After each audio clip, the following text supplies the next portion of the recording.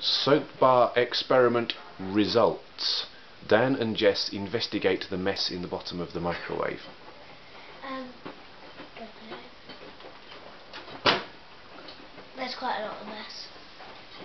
Um, it looks a bit like a house in all of the different corners or a cave and there's a skull there it's got lots of popcorn popping out. It looks, It like looks like the inside, um, the inside is uh, like like blown up. The inside worked, but the outside, like here, didn't. Ouch! It's hot.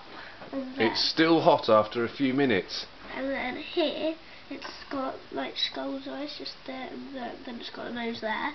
and then it sti- and and it stinks. It does stink. A lot, a lot like Imperial leather soap, but overpowering, which makes it stink. Yeah.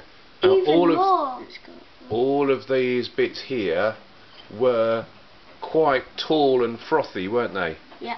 And wha- as it cooled down, it's all collapsed. So, if you're doing frothy soap in the microwave experiments, Don't use Imperial leather. Three, Yeah, one. you shouldn't use imperial leather.